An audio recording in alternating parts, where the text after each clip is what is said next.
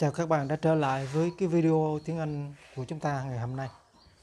Hôm nay chúng ta sẽ tiếp tục học về một cái tình huống mà có liên quan đến cái mệnh đề if. If tức là cái mệnh đề nó đưa ra một cái điều kiện đó các bạn. Đưa ra một cái điều kiện. Và cái bài của chúng ta hôm nay à, nó tập trung vào chủ yếu là đọc là chính. Tựa đề của bài hôm nay là superstition. Superstition. Nó có nghĩa là điều mê tín sự mê tín. Và người phương tây nhìn nhận người phương đông nói chung và người á đông nói riêng là thường là hay mê tín. Nhưng mà ở người phương tây có mê tín hay không? À, chúng ta sẽ tìm hiểu trong cái bài này. À. như vậy bây giờ chúng ta muốn nói mê tín thì về, về mê tín là gì? Bây giờ các bạn hiểu mê tín là như thế nào. Thế nào gọi là mê tín? Như vậy mê tín là một cái điều mà chúng ta tin tưởng mà nó không có cái lý do chính đáng. Và cái điều mà chúng ta tin tưởng nó rất mơ hồ và không có cơ sở khoa học thì cái điều đó chúng ta gọi là mê tín. Ví dụ tôi đơn cử người việt chúng ta có một cái suy nghĩ là khi chúng ta khởi sự đi đâu mà ra gặp một người phụ nữ một người đàn bà thì cái người đó suy nghĩ rằng là mình sẽ không được may mắn à, khi bước chân ra ngõ gặp một người phụ nữ như vậy. Và có thể là cái điều mà họ, họ sắp sửa làm sẽ không được thành công. Như vậy đó là mê tín. Nó không có cơ sở pháp lý à, cũng như à, cái lý do nào chính đáng. Nó rất mơ hồ nhưng mà họ vẫn tin như thế. Bây giờ bài của ngày hôm nay chúng ta hãy xem xét những điều mê tín của người phương tây. À, hôm nay chúng ta sẽ tìm hiểu những cái điều họ mê tín như thế nào. Như vậy cái bài hôm nay chúng ta là superstition superstitions. Bây giờ chúng ta xem cái tình huống này. Many people believe that chúng ta có đồng từ to believe believe là tin tin tưởng. Believe that là tin rằng nghĩ rằng hay là tin rằng. Many people believe that. Nhiều người nghĩ rằng nhiều người cho rằng. You will have good luck. Chúng ta có từ luck là may mắn. À, là cái điều may. À, good luck là cái điều may mắn you'll, tức là you will. You will, you'll have a good luck. Tức là nhiều người tin rằng bạn sẽ sẽ gặp may mắn, sẽ có may mắn. Sẽ... hình cái khác là bạn sẽ gặp những cái điều hơn hơn hơn hoặc là may mắn theo cái suy nghĩ của người Á Đông của chúng ta. If, nếu, tức là nhiều người cho rằng, nhiều người tin rằng bạn sẽ gặp những điều may mắn nếu nếu đây. If you find a four left clover, find là nhận thấy hay là tìm ra? Tìm ra ra cái gì nè? Chứ clover clover là một cái loại cỏ các bạn. Mà cái loại cỏ này là four left. Loại cỏ này nó có bốn lá. Nếu mà các bạn nhìn thấy một cái loài cỏ mà nó có bốn lá như vậy thì bạn sẽ gặp may mắn. Đó là cái suy nghĩ của người phương tây. Không biết các bạn có nhìn thấy cái loại cỏ này chưa? Nếu mà các bạn nhìn thấy một cái loại cỏ mà nó có bốn lá như vậy thì các bạn sẽ gặp may mắn theo cái quan điểm của người phương tây. Như vậy, bây giờ chúng ta hỏi tại sao gặp cái loại cỏ bốn lá mà lại gặp điều may mắn thì chúng ta không thể giải thích được. Thì nó rất là mơ hồ. Nhưng mơ hồ thì là mê tín, là superstition rồi tiếp theo. Many people believe that you will have good luck if you find a horseshoe. A horseshoe. Nếu bạn phát hiện ra bạn nhìn thấy một cái gì? Horseshoe. Horseshoe là cái vành móng ngựa. Cái vành móng ngựa là sao các bạn? Cái cái vành móng ngựa là cái con ngựa khi nó chạy trên đường á. À, đường. Thì để cho à, cái chân nó khỏi bị à, cấn đá hay là trên cái nền đường nó bị đau nó thốn cái chân nó thì người ta đóng một cái vành bóng ngựa bóng ngựa bằng sắt. Người ta đóng vào cái cái chân của con ngựa để cho nó chạy cho để bảo vệ được cái cái bàn chân của nó à, khỏi bị thốn bị đau. Mà nếu mà chúng ta gặp được cái vành móng ngựa đó mà nó rơi rớt trên đường thì chúng ta sẽ gặp điều may mắn may mắn theo người phương Tây. Như vậy nhiều người tin rằng là bạn sẽ gặp được những điều may mắn nếu bạn à, tìm thấy nhận ra một cái vành móng ngựa. Tiếp theo many people believe that you will have a good luck if you give a new pair of shoes to a poor person. À, bạn sẽ gặp may mắn nữa nếu mà bạn gì? À, give give là cho tặng. A new pair of shoes. chúng ta có từ pair of shoe là đôi giày. Đôi giày. Mà a new pair of shoe là một đôi giày mới. Một đôi giày mới. Nếu bạn tặng một cái đôi giày mới, tức là đôi giày mà mới mua mình chưa mang đó, ha. lấy đôi giày đó, tặng cho một cái gì đấy to a poor person, cho một người nghèo. Thì bạn sẽ gặp good luck good luck. Như vậy, đây là những cái điều mà người phương Tây tin tôi nhắc lại nhé nhiều người tin rằng bạn sẽ gặp được những cái điều may mắn nếu bạn nhận thấy, tìm ra được một cái loại cỏ mà có bốn cái lá.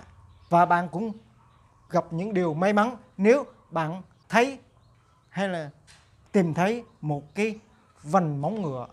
Và bạn cũng gặp những điều may mắn nếu bạn tặng một cái đôi giày mới cho một người nghèo khó và bây giờ à, các bạn hãy nhắc lại theo tôi à, những cái tình huống này. À, nói về những cái điều mê tín.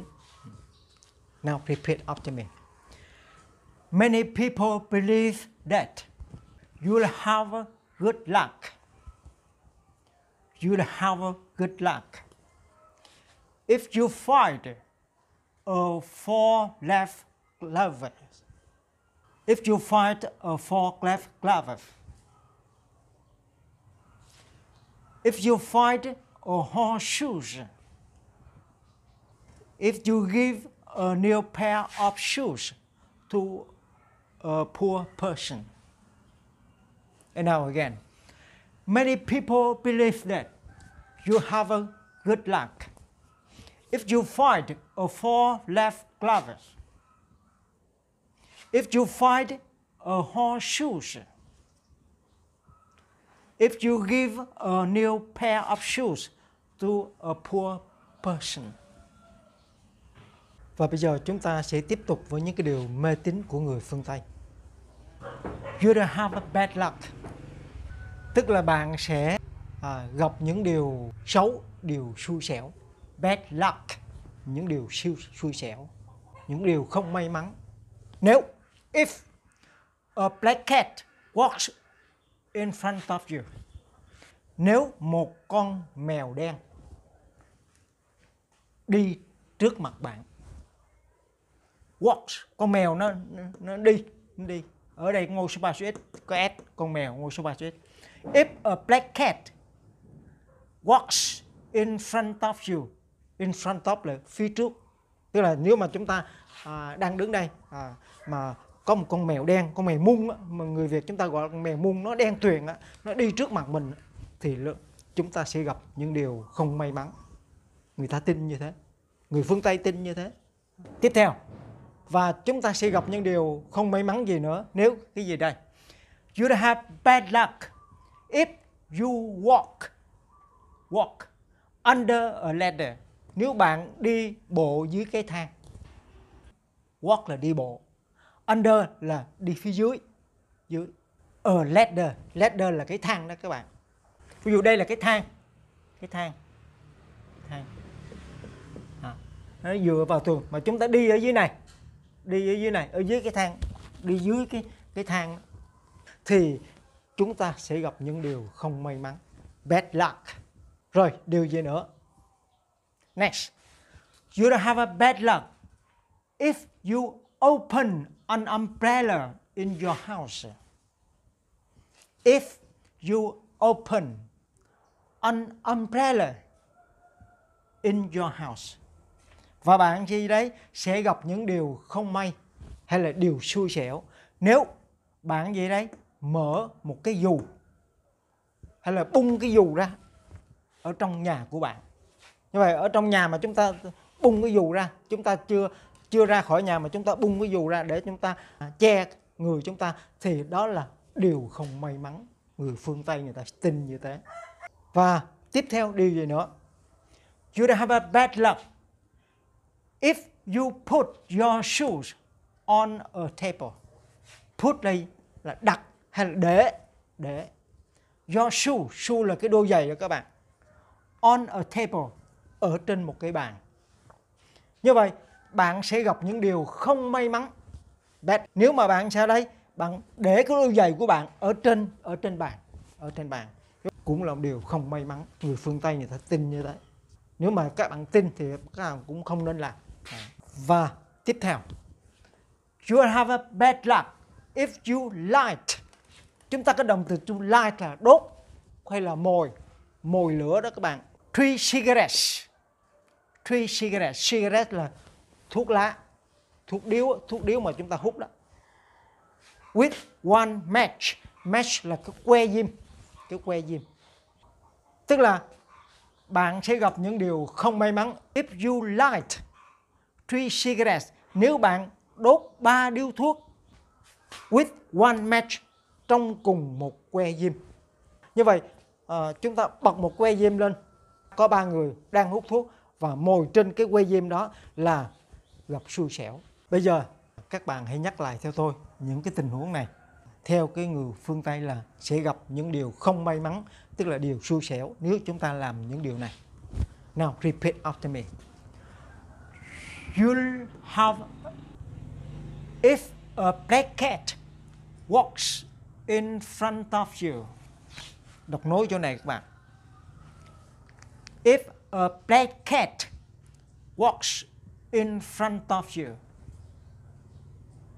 You don't have bad luck if you walk under a ladder. If you walk under a ladder. You don't have bad luck if you open an umbrella in your house.